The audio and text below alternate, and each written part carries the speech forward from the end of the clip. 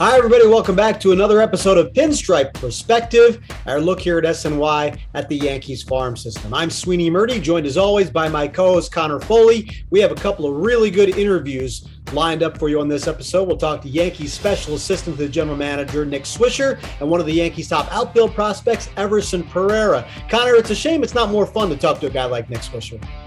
Yeah, you really wish that he'd just kind of loosen up and show his personality, but he had a lot to say, so let's get right to Nick.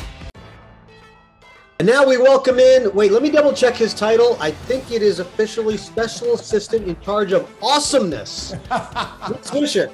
Is that is that the title? Did I get that? Right? You know what, bro? If it's not, we need to make a name change because that job title is way cooler than mine, bro, for sure. uh, Yankee special assistant. He bounces around the minor league system. He's got a good handle on what we talk about here on Pinstripe Prospective. So, Nick, thanks for joining us for a couple of minutes today. Oh man, you got it, man. Anything for you, brother, no doubt. So Nick, the last team you actually played with was the Rail Riders in 2016, and there were some pretty notable names on that team. I think your last game you batted behind Ben Gamel, in front of Aaron Judge and Gary Sanchez, and Chad Green was on the mound.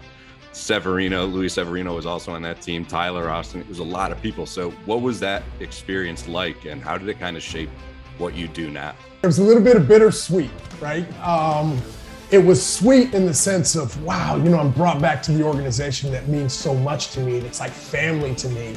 And they trust me enough to be around their young guys to teach them the Yankee way. That was the sweet part. The bitter part was, you know, it's coming to an end.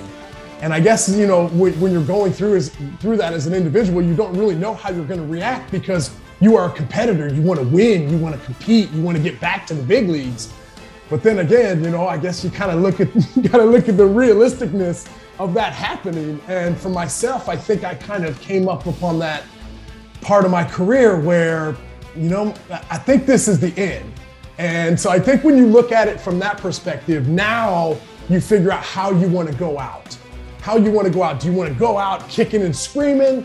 Or do you want to be the best human being possible and try and make a huge impact on these young kids and teach them some of the things that the veterans in your world had taught you, right? Just keep passing it down, right? Leave it better than when you got there. All right, so let's get into some of the guys that you had a chance to see as you travel around each of the minor league teams. Jasson Dominguez is starting to show a lot of the tools and things that make him an exciting prospect, and he's really taken off as you talk to Jasson Dominguez and you see him, switch hitter, you know, right up your alley, what are some of the things that excite you about what he can be by the end of this season? You got to look at this uh, and, and give it a little perspective. This is the first season, these are the first games our guys ever really played. So to be able to get him on the field on an everyday base this year has been absolutely fantastic. And what you're noticing is an upward trend right?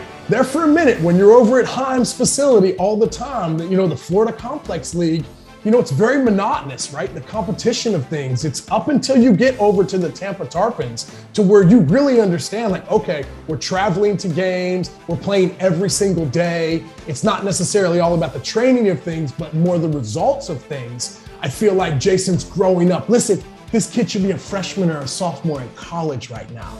So if you put that in perspective as well, he's built like an absolute man. He's got light tower power. His average is climbing. He's stealing bases. He's getting better jumps in the outfield. The more reps he gets, the better he's going to be. I think his swing decisions are getting better. His contact quality is double what it was last year. So if you're looking at all the metrics of things, but we're we're geeked. I mean, we're so excited. Nick, let's go. Anthony Volpe what was your first impression of him when he's drafted out of high school in New Jersey? And then what he was able to do last year to kind of just launch himself onto the prospect radar. He's that baby face, you know what I mean? Like I couldn't believe. Our number one prospect looked like he was 14 years old. He's starting to build into his own body, which is great. I think he's 10 pounds heavier now than he was last year. But once again, we're talking about early 20s, right? 19, 20, 21 years old.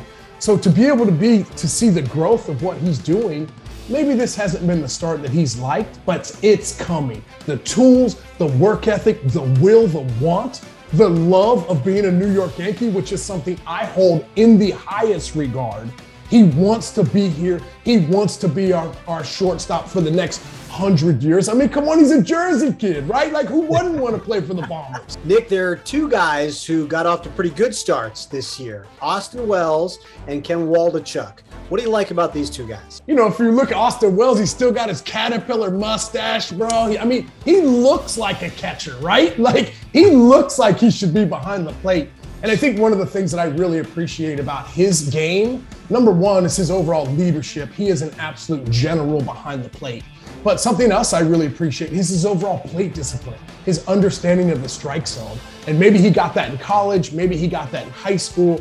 But either way, when someone walks to the plate and is confident and is calm and can spit on those pitches this far off the outside part of the plate at early ages, for me, that catches my eyes. And Austin Wells has always had great plate discipline, and that's what's going to get him to the next level. And how about Ken Waldichuk? Left-handed, got that devastating slider, upward fastball, really get some good ride on that. I mean, Kenny's right there knocking on the door. In my mind, I think he could come up and help this team at some point this year. Who are some other guys maybe who you've got your eye on that people should know about? Ah, oh, bro, I, I, got a list. I wrote a list down here, right? You came prepared, huh? Yeah, right. Hayden Wesneski, bro, he's nasty, right? Elijah Dunham, Big Cheese, Josh Breaux, our catcher, absolutely fantastic. Uh, Oswaldo Cabrera in AAA this year, unbelievable switch hitter, had an unbelievably awesome last year. This year, gotten off to a little bit of a slow start, but I think that could be that jump up to AAA as well.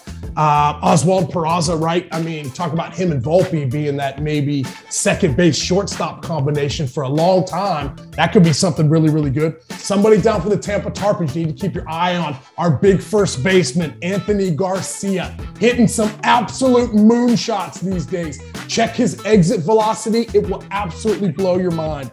Everson Pereira as well just jumped himself onto the 40 man. He's been amazing. And my last guy I got is Randy Vasquez for our Somerset Patriots, right handed pitchers. Dudes are hitting 175 off that guy right now. He's got a chance to come up and help us sometime soon as well. Wow, it sounds like you're diving headlong into this special assistant role.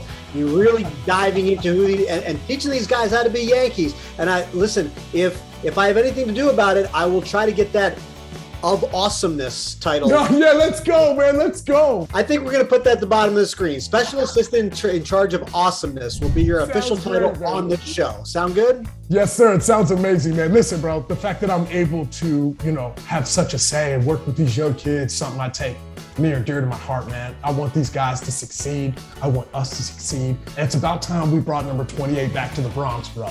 So we're doing our part for sure. Yeah, what a fun conversation with Nick Swisher. I think I need a cup of decaf after that one. Uh, one of the prospects you heard him talk about was Everson Pereira, who first jumped to my attention as a 17 year old at Pulaski a few years ago. He's now at High Hudson Valley. I had a chance to check in with him a couple weeks earlier. What do you think was key for you hitting last season? I don't know. I just, I just think last year make a good contact to the middle of the middle of the field and just taking take a good pitch and good swing. Just that one. I just I don't I don't take it too much that year. Your first year in pro ball, you're 17 years old and you're in Pulaski, Virginia. Yeah. That's a hard experience for anybody, I think, let alone somebody coming from Venezuela. What was that experience like for you? That's different to my first year. That's the that's different culture for me, and that's that's a good experience too because I stay with my with my teammates. He that, the other players have like a more year to me, so he a lot of people help me a lot. So the the the league's too hard too. So that that, that was that's a good experience for me. I like I like my first year. How's this early season going for you? What what do you like so far? I like that's my first long season. Uh, I mean that's a little different for me because I never started with the with the cold. The weather is super mm-hmm. hard for me in the first game. But right now, I just wanna thinking help my team and keep like take more experience, take more experience. When you finally get to the New York Yankees, it's about 40 degrees out. Is it going to be okay? You going to be all right? Probably, probably I think it's like a super excited. I don't, I don't think in my in the weather, but I just go to play baseball. Everson Pereira having a good year at High A Hudson Valley, hoping to move up in the system. And Conor, one of the guys who did move up in the system is our look at an alternate angle right now. Will Warren, one of the Yankees' better pitching prospects, has already found himself jumped up early this season. Yeah, anytime you can reach double A the year after you get drafted, you're doing something right. And Will Warren's a guy that the Yankees took in the eighth round out of southeastern Louisiana not really a big name. Nobody really knew about him, but the Yankees liked some velocity and some numbers on his pitches and stuff like that. And basically, what they've been able to do is, you know, kind of create another really good pitching prospect for their system. Not exactly out of thin air, but kind of out of thin air. So I talked to Joe Vasile, who's the broadcaster for the Hudson Valley Renegades. I said, What's the one thing that people need to know about this guy?